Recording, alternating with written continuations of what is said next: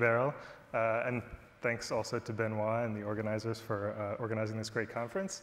Um, and again, I want to, so this paper is joint with uh, Miguel Cardoso at Brock University, who's up there. Um, we're going to reuse Canadian microdata, so I want to express my uh, thanks to CDER, uh, especially Beryl and Danny for making this data available. And the productivity partnership that Mike Veall talked about yesterday that has done great things for increasing data access uh, to academic researchers in Canada.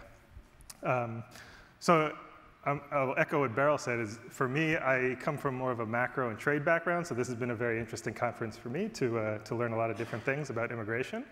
Um, so from that perspective, um, the motivation that we come to this paper is uh, there's very large international trade barriers. Firms face big monetary, physical barriers to export their goods to different countries. And more and more people realize that these barriers also include uh, informational barriers and intangible things. Uh, there's friction, there's information frictions, um, there are networking frictions. You have to, firms have to kind of know the right information and meet or know the right people in order to make contacts to engage in international trade. Um, so there's a few, there's some older and newer work that emphasize the importance of these informational frictions. Uh, and there's some work that is trying to you know, point to the idea that uh, immigrants may be one tool to resolve these frictions. So immigrants have a role in facilitating international trade, um, mainly to the, between the firms in the country where they live and the firms in the country where they're from. Um, so this is sometimes referred to as a trade creation effect of immigration. So I'll, I'll, call, I'll, I'll refer to that phrase sometimes. Um, there's a lot of aggregate evidence. So when you look at just uh, for example, you know, how much does Portuguese immigration to Canada increase Canadian exports to Portugal? So that kind of data, that kind of evidence is, is present from a lot of different countries. Um, Head and Ries have a paper in 1999 that looks at Canadian data, and they found that at the aggregate level, the elasticity of trade with respect to national immigrant stocks is about 0.1 to 0.3. Um, so Gould does something similar from the US. Peri and Requena Silvente did something similar for Spain. And Bastos and Silva and Rauch and Trindade did something similar, but looking from the perspective of the Portuguese immigrants and where they go all throughout the world, and the Chinese immigrants and where they go all the way throughout the world. Um, so at the aggregate level, it looks like there are important effects. Um, we're going to go down to firm level data and try to look for some similar evidence, uh, evidence of this trade creation effect at the firm level. So we might want to ask, why do we want to do that? Why would we want to go from aggregate to firm level evidence? And I'm going to think about two reasons. There may be lots of reasons. To me, I think two reasons are interesting. One is at the aggregate level, there's obviously kind of a endogeneity and causality concerns. There are similar factors that promote both trade and migration between countries or, or impede trade and migration between countries. Sorting this out with aggregate data is difficult. Um, and more interestingly, I think uh, looking at firm level data would help us try to get a little bit more at what the mechanism actually is. When people have in mind that immigrants facilitate trade, I think what they're by and large thinking about is that um, immigrants do this at their workplaces. They provide some information to their employers. Uh, so it's not just the, the presence of immigrants in an economy that makes it you know, easier for any firm to trade. It's that immigrants working at certain firms you know, help, help their employers uh, uh, to export, to trade. Um, so there's a recent literature that's using some firm level data from various countries. So I think uh, most of these are, these are all European countries. So Hiller, I think, is with Danish data. Hatzigeorgiou and Lodefalk is looking at Swedish data. Andrews and co-authors are with German data. And uh, Léa Marchal's paper that you're going to see uh, looking at French data. Um, so looking at firm level data, there's again, there's a different endogeneity issue, which is that you know, firms are choosing to hire immigrants. They're not just randomly assigned across firms. Um, and possibly also immigrants may choose for some reasons to work at firms that are, have a greater propensity to export. So we're going to be a little specific about what that endogeneity issue might be in the framework that we consider and, and how we're going to deal with it. Um, I, I, in this audience, I don't need to really uh, justify the importance of immigration, but I, I, I want to say what's the relevance of this particular topic of, of looking at trade uh, immigrants' effects on trade for migration as a whole. Um, and one thing, the, the, the, obvious thing is that there's this potential benefit of immigration that it lowers trade barriers, that it, you know, it's not really considered in if you, you know, you're missing something if you abstract from this. This suggests that trade and migration can actually be complementary. Um, David Card in his talk yesterday was suggesting that there's a, there's a broad understanding that trade and migration are the same thing, or that they're substitutable. Well, in fact, you know, this kind of channel suggests that they're complementary. Um, and studies of migration often focus on, on, on the effects on natives. Um, so a lot of studies, a lot of papers that we've seen over the past day and a half um, look at labor market effects. Um, actually, these, those three things David Card, those are also the things he mentioned. Labor market effects, market size effects, and fiscal effects on government budgets, right? So this is all about what trade does to the natives in a country. Um, so this is, a, this is on top of, this trade creation effect is on top of all those things. So uh, Miguel in his job market paper showed that, you know, with aggregate data and a, a, model, you know, using aggregate data, this trade creation effect can have pretty big welfare effects at the aggregate level, especially in countries where there are very, very large diasporas across the world. So in, in, in relatively small countries that have big immigrant populations spread out a lot of different countries, those, those immigrants are providing a lot of benefits to, to, the, to, to the countries by making it easier for firms to export to their home countries. Okay. So what we're going to do in this paper is, like I said, we're going to look at firm level evidence on this trade creation effect um, from administrative Canadian data, employer-employee linked Canadian data. Uh, we're going to be guided by a model of um, firm destination-specific export decisions, so entry, sales, and immigrant hiring decisions. Um, the, the kind of crucial, the main feature here is that there's, firms are going to face costs that depend on their employees of immigrants from the destination that they're considering exporting to. Okay, so if you are thinking about exporting to India, you face some fixed and variable cost of exporting there that may be affected by whether you uh, employ Indian immigrants in your firm and how many of them you employ. Um, the, the specific way that we're going to frame this endogeneity issue of, you know, immigrants don't randomly locate across firms is that firms probably have some information on the profitability of exporting to different destinations. So I might know that I'm, I'm, you know, I face particularly high demand for my products in a particular country, and if I know that before I make my employment and hiring decisions, then it's going to make me want to hire more immigrants. Okay, so um, that's, that's the issue. Uh, we're going to talk about two different approaches. One is, is kind of a standard in instrumental variable approach that I'll talk about specifically what we do. And the second, which is, more, which is novel to our approach, is using a particular set of restrictions implied by firms' optimal hiring decisions, and that we kind of need our model for. Um, so we're going to look for, you know, are the aggregate results present at the, at the micro level. And we're going to talk a little bit about whether there's some evidence of what the underlying mechanisms are. So if, if immigrants are helping you communicate or provide information about firms' products to their uh, home country, um, you know, does it show up in, in information that we know about what languages firms speak and de the degree of product differentiation of the, of the products that firms are producing. So there's more differentiated versus more homogeneous products, and we're going to show that there are differences across um, those two. Okay, so here's the data we're using. We've heard a lot about CEEDD. So we're using CEEDD, and we're adding TEC. So TEC is trade by exporter characteristics, and um, it's export sales for all firms in Canada by destination country at uh, the harmonized six-digit classification. So these are pretty finely uh, disaggregated goods. Harmonized system is, is uh, primarily classified by, by material and method of manufacturing. So that, that's kind of what, what generates very distinct uh, distinctions. And, and it's convenient because there's a classification by Rauch uh, on differentiated and homogeneous goods at the HS6 division. Um, so we're going to use firm information, uh, individual information from the T1 tax records, and the immigration database that, again, lots of people have talked about today. Um, so we're only going to look at manufacturing um, for computational reasons. There's a much larger number of firms that we have, but we're going to focus on manufacturing now. Um, so there's about 50,000 firms, 18,000 export at least once. Um, so that's, that's the data we're looking at. So I'm gonna, just going to give, so if, we, if we're looking at this trade creation effect, I think we'd like to see it at just a rough you know, summary level first. So I'm going to show you two graphs that, that try to capture that. this is, um, on the, the x-axis here is the fraction of firms that export to a certain country.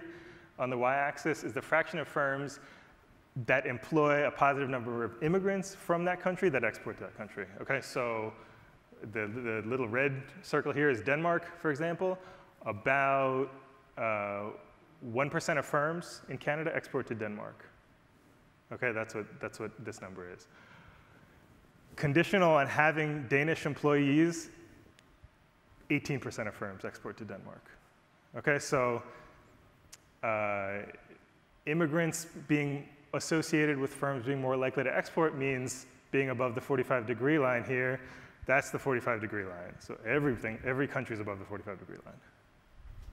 Here's the same thing for, so that's kind of like an extensive margin decision of whether a firm exports or not. This is an, more an intensive margin decision. This is average uh, relative sale, uh, export sales to a certain country relative to domestic sales in Canada um, by country. And, this is, and the y-axis is the same thing, conditioning on whether you have immigrants from that country in your firm.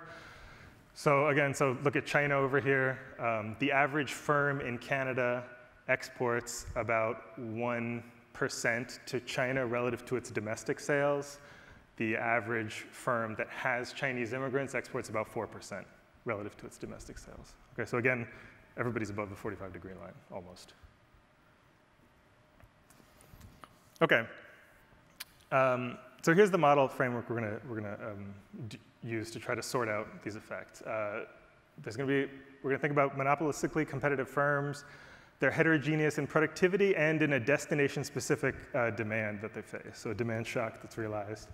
Um, a bunch of different countries. So K is going to be, K is countries. One is Canada.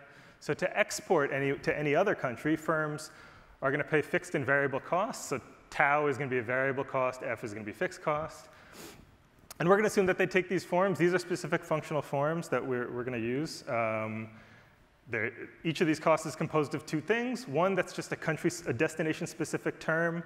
These are going to be things motivated by gravity, the gravity literature. They're going to be a bunch of destination-specific characteristics that have to do with a bunch of different distance measures from Canada. And then a term that depends on how many immigrants you employ. Uh, we do this 1 plus n for a couple of different reasons. It, it lets us have firms with zero immigrants. Most firm immigrant combinations are 0 They're, it's not going to be the case that most firms have immigrants from every country. Right? Um, so we can have all the zeros in there. Uh, and it's also nice that, the, so the, the, the, elasticity of each of these costs, the, the, the percentage change in the cost when you add another immigrant declines the more immigrants you hire. And I think that's intuitive. If you have 100 immigrants from Portugal and you add one more, they're probably not doing as much to your cost of exporting to Portugal as if you have one immigrant and you add one more. So um, that's, the, that's, the, that's the particular functional form feature we're going we're gonna exploit.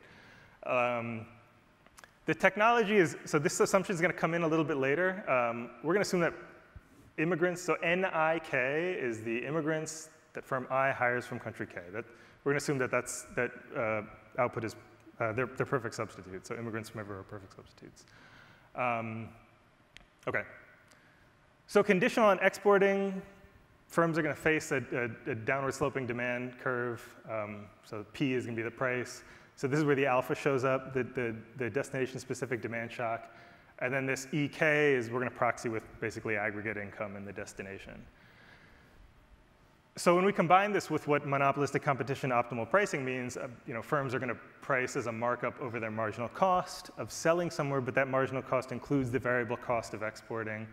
Um, this is going to tell us what sales, what, what a firm will sell to destination K, conditional on actually exporting there. It, um, so it's you know, increasing in productivity, declining in, in the variable cost, and increasing in this destination demand cost. So our model tells us, this a convenient thing is that we can use domestic sales to proxy for this productivity term. We don't know this, we don't measure productivity. Um, in the so, and if we, so if we do that and take logs, it's going to yield this, this equation. So this is going to be the basis of one, one method to estimate um, this trade creation effect. Okay, so if we look at conditional on exporting to a certain country, a firm's log export sales there are going to be related to their domestic sales, it's just a control for size, for productivity. Um, these destination-specific characteristics, that have to do with costs, and then the component of cost that have to do with your immigrants, okay? And then um, these two. Um, we can say the same thing about entry. So you, a firm has to be profitable enough to, entry, to enter because there's a fixed cost. Um, so I, I, may not have time for this. So uh, if I have time, I'll show you the results at the end. But um, entry is a probabilistic statement, okay? So if we pretend for a moment that, that you know, there's, there's an error here that's unobserved, if, if your immigrant hiring is just uncorrelated with that, then we could do an OLS on the sales equation and a probit or a linear probability regression on the entry, on this entry equation to get the estimates of the, of the two costs, okay? So here's that first, here's the OLS of the export sales equation just to, to get kind of a, a sense of what the numbers are. Um, so in the, the first column is, uh, the, you know, the green line is, is the, the, the effects on, on log of one plus the number of immigrants from that destination. Um, and the dependent variable is you know, uh, log of export sales by destination. Okay, so th this is a positive and significant effect. Um, the columns three and four separate into homogeneous and differentiated goods, and that's according to this classification that basically classifies something as homogeneous if it's traded on an organized exchange or with respect to a reference price, a reference market price. Um, and there's big differences between whether a good is, firms are selling homogeneous or differentiated goods. That this effect is insignificant for homogeneous goods. Right? So there's immigrants are not providing a lot of information, or you know, you don't need a lot of information or networks to export very homogeneous goods. They're just traded on organized markets. But it's very positive and significant for the differentiated goods. So differentiated goods drive all this. Um, we also do, in addition to thinking about firms employment of immigrants from a particular destination, uh, firms' employments of immigrants who speak the language of that destination. Okay, so that's the second line here. And when we add that in, that's also positive and significant. Okay? Um, so it tells you that language is part of what immigrants are doing. They're, they're giving firms language abilities. Uh, all of the rest of these, these are all kind of the gravity variables, and they go in the expected directions. Um, okay, so so the endogeneity problem, that the way we've cast it is, you know, a firm that, that expects high demand at a particular destination, it knows that. It knows that hiring more immigrants is going to make it more profitable to sell there, so it's going to hire more immigrants. Right? So one, one approach to dealing with this that's been used by a few papers in the literature is to use uh, various instruments. And so these papers all use a combination of lagged immigrant employment and uh, basically immigrant employment at the, at the regional or industry level, excluding an individual firm. Um, the idea with the lags is you know, that your past hiring shouldn't affect your current exports as much, but it should affect your current immigrant hiring. Um, and the idea with this uh, immigrants at all firms other than yourself is that it's increasing the pool of, you know, it's increasing the pool of migrants from which you can hire, and it's, so it's to be correlated with your migrant hiring. Um, so I'll show you some results. I, I, think there are issues with both of these. One is that, of course, lags are probably correlated with your current exporting decisions too. And the other one is, so we're finding that this is just not very correlated with, this is just isn't a very good instrument in, our, in, in, in, the Canadian data, um, whereas it seemed to be in, in these papers. Um, so here's, here's the IV results for these two. Uh, so the, the, using lags, you know, you get pretty much the same result as before. Um, using that immigrants at all other firms, we do it at the province and, and NAICS industry level. Um, that becomes negative, so we don't, we're still figuring out the interpretation of that. So, you know, it, it doesn't seem like it's a very good uh, instrument in our setting. Okay. Um, this is by product category the homogeneous differentiated, and so that's kind of the same thing. The, it, the, effect is much smaller for homogeneous than it is for differentiated, but again, this, um, this uh, Ni minus IK, all other firms, doesn't seem to be going in the right direction, so yeah, something we're still sorting out to some extent. So we're going to take a bit of a different approach. Um, to, or suggest a different approach to deal with this um, endogeneity issue, and it's the following. Um, we're going to actually take into account that explicitly that problem of firms choosing you know, their, their, the composition of their uh, employees from the different countries where they hire from.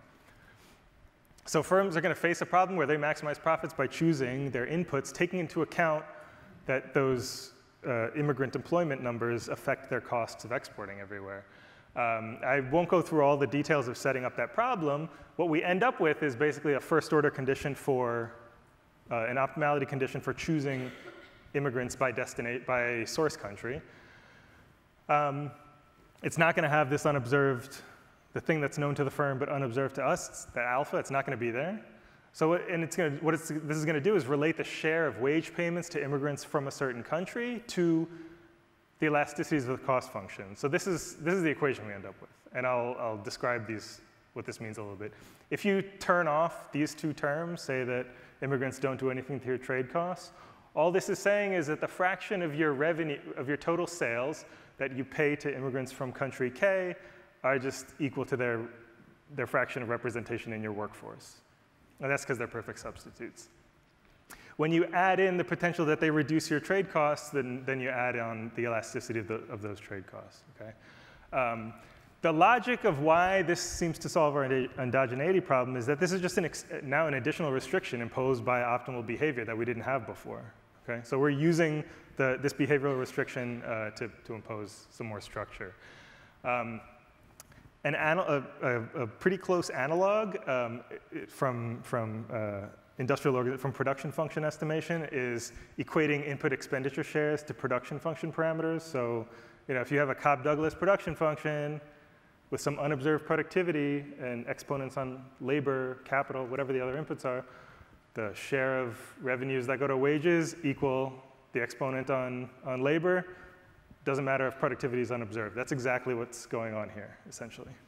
Um, so this goes back to Solow or possibly earlier, and a, a, recent paper that exploits this in a much more sophisticated way is uh, Gandhi Navarro Rivers on productivity estimation. Okay, so here's, um, so this is a nonlinear equation now. We, we estimate it by nonlinear least squares. Um, the, I, I, guess I should say, so one thing I want to isolate here is how, why do we, how do we get these two different things? Well, the important thing here is that the elasticity of the variable cost interacts with the, with the export sales, right? You only get this variable cost reduction to the extent that you're selling stuff to that country, the XIK. The reduction in the fixed cost when you hire more migrants, that's cash in your pocket. That's you know, cash in the firm's pocket. They reduce their fixed cost. So that doesn't interact with sales. So that's why we can identify these two things separately from one regression, essentially.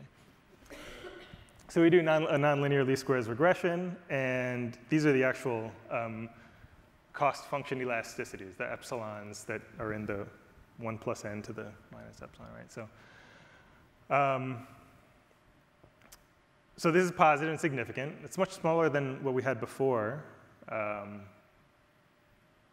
for a couple of reasons. One is that that, was, that had this, an elasticity of substitution in it too. But, um, and we have the same pattern across homogeneous and differentiated. So the differentiated, the homogeneous is smaller and, and negative. The, the differentiated one is bigger. Um, all the distance stuff remains the same. Uh, our elasticity of the fixed cost is not really the right sign. So we're still working on this. Um, one issue here is everything, this, deriving this is conditional on making export sales to a country. And that's actually not taking into account all the effects that immigrants should be having on, on your actual propensity to actually export somewhere. So taking into account the extensive margin might change that and might get us a fixed cost term that's more sensible. Um, but it's very interesting. I think we find it very informative that we can get some, we can get positive and significant estimates out of for the elasticity of the variable cost out of this out of this method. Okay. Um, or so I have a minute. I'll just say so. These are the linear probability model estimates. Um, uh, so these are marginal effects. They're if you increase one plus, you know, one plus your number of immigrants, there's a positive effect on on exporting, uh, exporting to a destination. And the same thing, so the language effect is there again. Langu immigrants with a certain language skill are providing some benefit, even if they're not from the destination country. Um, and this is the same thing with the lagged immigrant instrument. Okay, so again, that, that effect is positive and significant. Okay. so what have we found? We found that there's a big pro-trade immigrant effect, a trade creation effective immigration at the firm level. Um, the elasticity of export sales with respect to immigrants is not too far off from the aggregate numbers that I showed you, like in the range of 0.3. Um, language is important, so language is, is, is, an important kind of method of communication, or it's providing some benefits to, to firms. And there's much bigger impacts for differentiated versus homogeneous goods, which is telling us that you know, this, the degree of information, we know differentiated goods, there's more, information is more important for those goods, so this suggests what kinds of mechanisms immig immigrants are doing or providing. Um, and we find it useful to use these restrictions implied by the theory of the firm's uh, hiring choices in, in sorting out these effects. Okay, thanks.